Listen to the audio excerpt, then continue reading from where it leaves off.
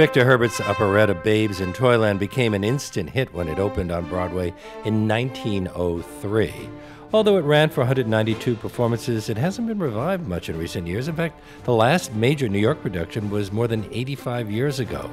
But a new concert version will be presented a week from today on April 27th at Carnegie Hall for one night only. Mm-hmm. It features the 130 singers of the MasterVoices Choir and the Orchestra of St. Luke's, conducted and directed by Ted Sperling, the artistic director of MasterVoices. It, will, it also has a star studded cast headed by Kelli O'Hara and Bill Irwin. And I am delighted to welcome Ted Sperling, Kelli O'Hara, and Bill Irwin to this live broadcast from WNYC's Greene Space. Thank Hi. you. Ted, wasn't MasterVoices originally the collegiate chorale? Yes, we are celebrating our 75th anniversary season. So why change the name? We had a lot of confusion around the name, the Collegiate Chorale. People thought either we were a college group. There's a story actually about our being hired to perform in a movie with Barbra Streisand, and when the group showed up, they were shocked because they expected all kids. You know? And we're a large group of people from all ages and all walks of life. And we decided that our name needed to reflect what we're doing right now, which is telling stories through music.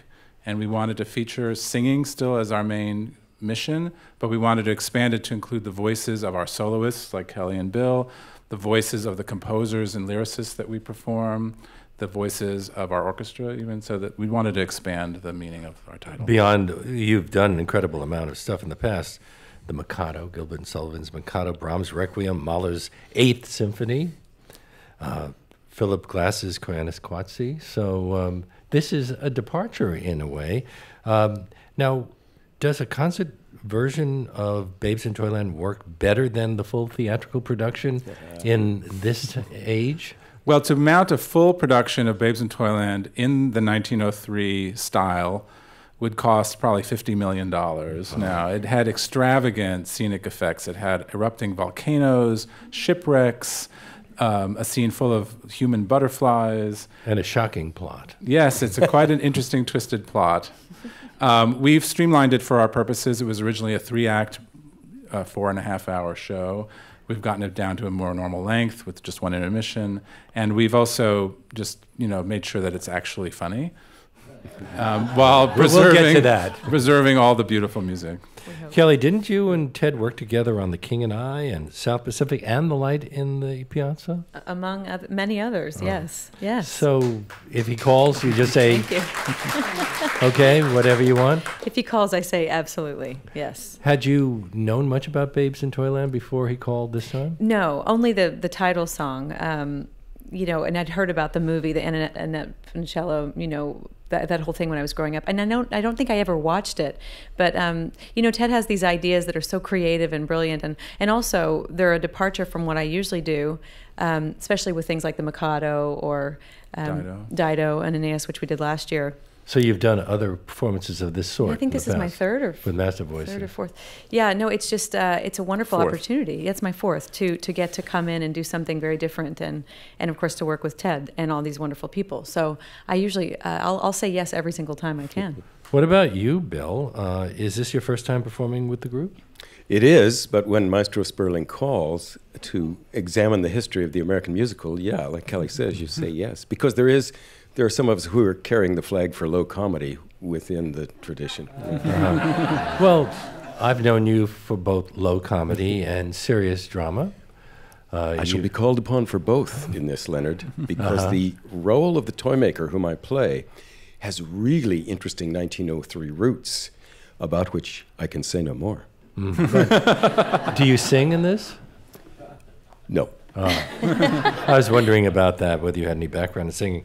Uh, Victor Herbert isn't as much of a household name today, although people may know some of his songs. Um, but he was was he a really big star? he was the, the biggest music star of the time. He was a virtuoso cellist. He was a virtuoso conductor. He was the conductor of the Pittsburgh Symphony Orchestra. He played in the Metropolitan Opera Orchestra. And he was the most popular songwriter at the time.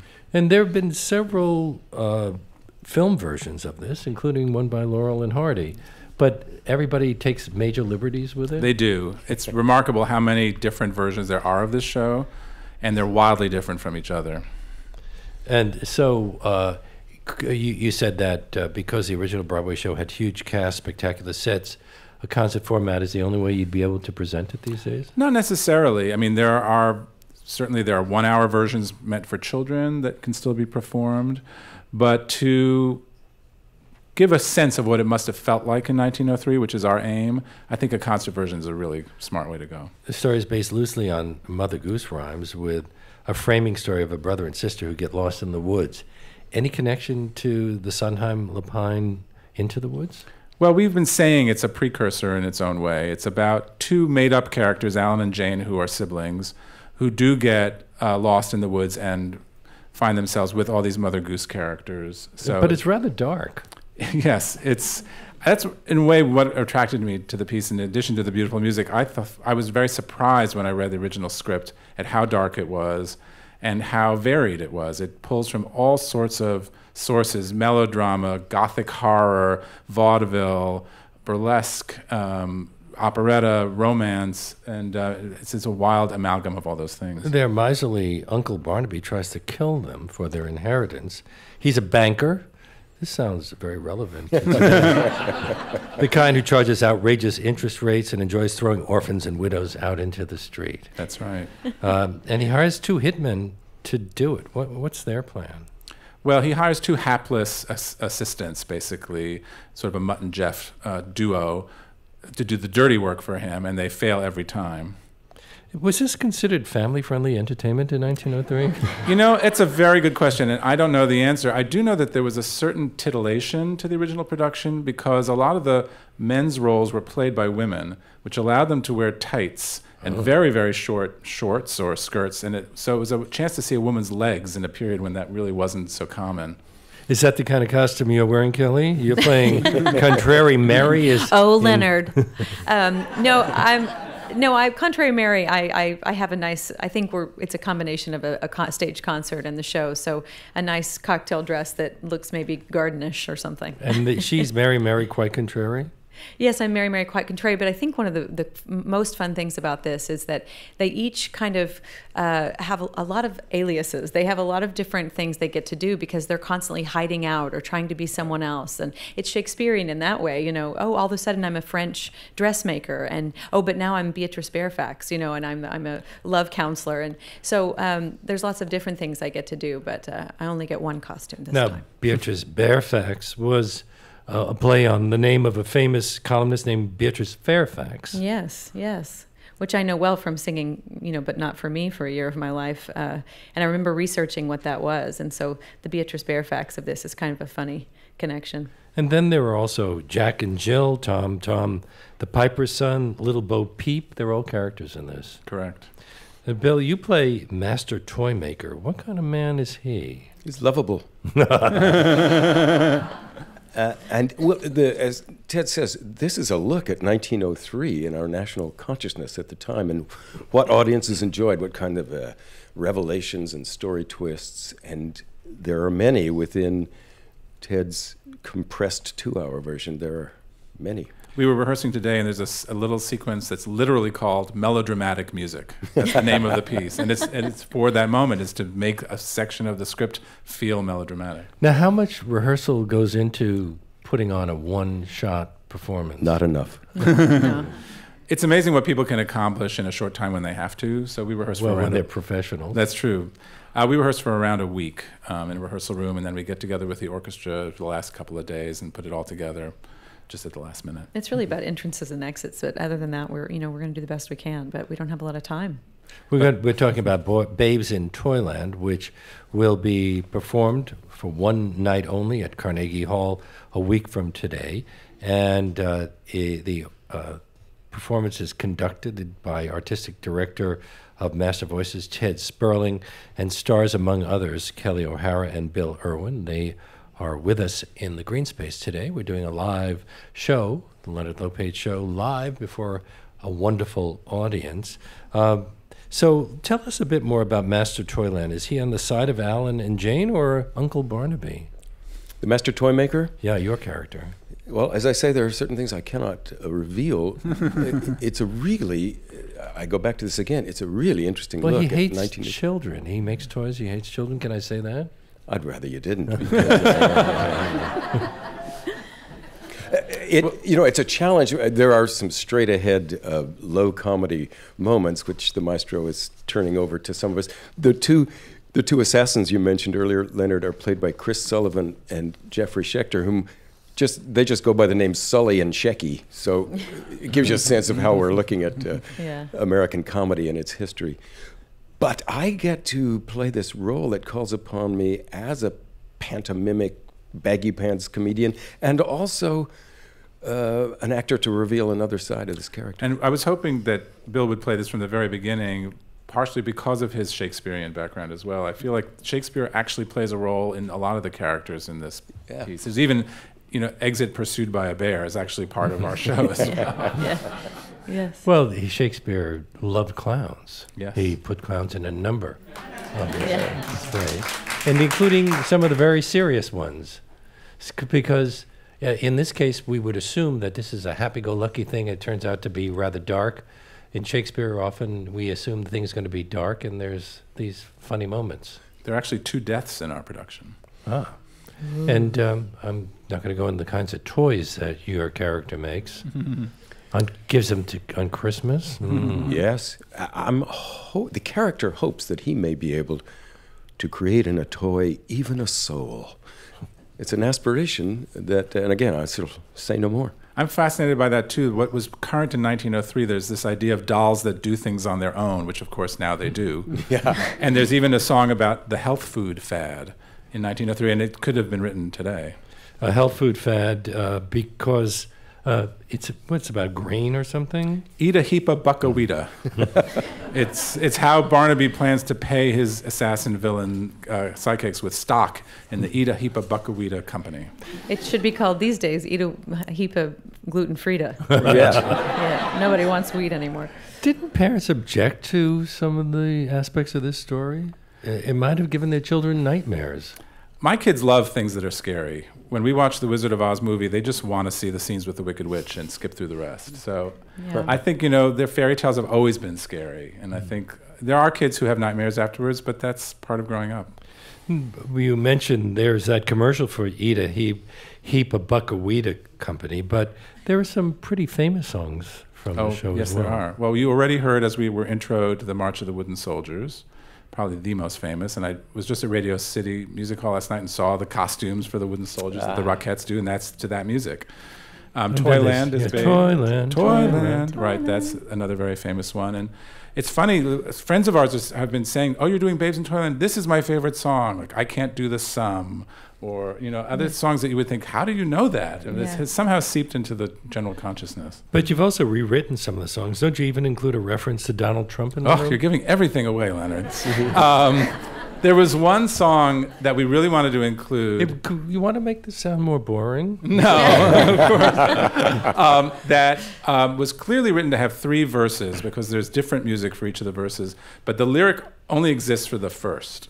So we needed to write a second and third lyric, which our scriptwriter Joe Keenan has done brilliantly. And it was my idea that you know let's step out of that time period for just one verse and have a little fun.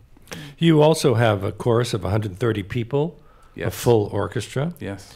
And we should mention some of the other members of the cast Blair Please. Brown, Blair Brown, Chris, the dry Chris voice. Christopher Fitzgerald. Yes, Lauren Lauren Worsham, J. Armstrong Johnson, Jonathan Freeman. Yes, and Michael Kostroff. It's an amazing group. I'm so happy Chris that Sullivan, Chris Jeffrey Sullivan, Schecter. and Schecter. Is it easier to assemble an all star cast of this sort because you're doing it for one night only, even though there is all of that rehearsal time required? I think it does help. We're not asking somebody for a six month commitment. Yes. Plus, when are we on stage with the the huge orchestra, the huge chorus? You know, uh, it's that's a magical moment for me. So I try to do that every chance I get.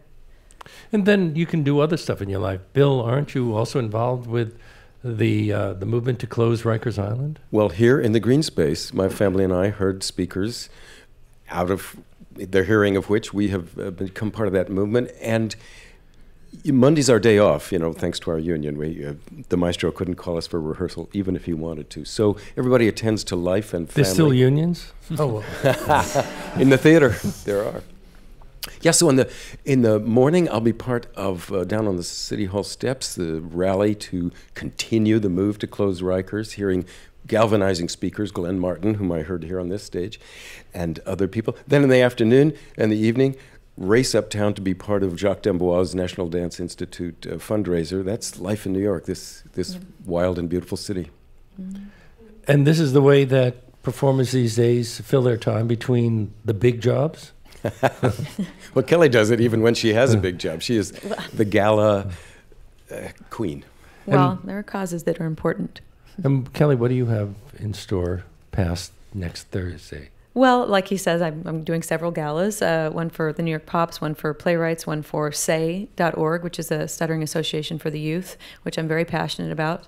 Um, and then I'm gearing up for a couple of things in the fall, Brigadoon, and then I'm doing going back to the Met, uh, Così fan tutte, and then uh, I'll see what comes next. That sounds impressive. So you know what you're about, what you're going to be doing for the next year or so, at least. Yeah, for right now, you know, in opera, what's unusual is you know within four, you know, four years ahead. So um, that feels nice.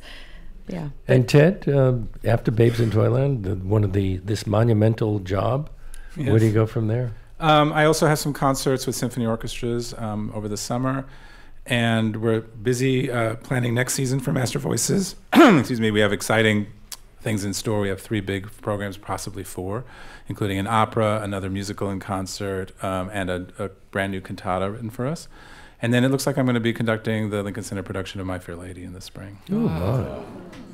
But uh, in in something like this, do you go back to the original score? Can you just play the original score? Or do you have to adjust it to modern instruments and modern sensibility of how music should sound? For Babes in Toyland, I'm very much trying to recreate the sound of 1903. So we're using the original orchestrations, the original size of the orchestra, and I have the help of some wonderful musicians, scholars who've been preparing that for us. hmm And I assume that you're finding this a lot of fun. Absolutely. yes.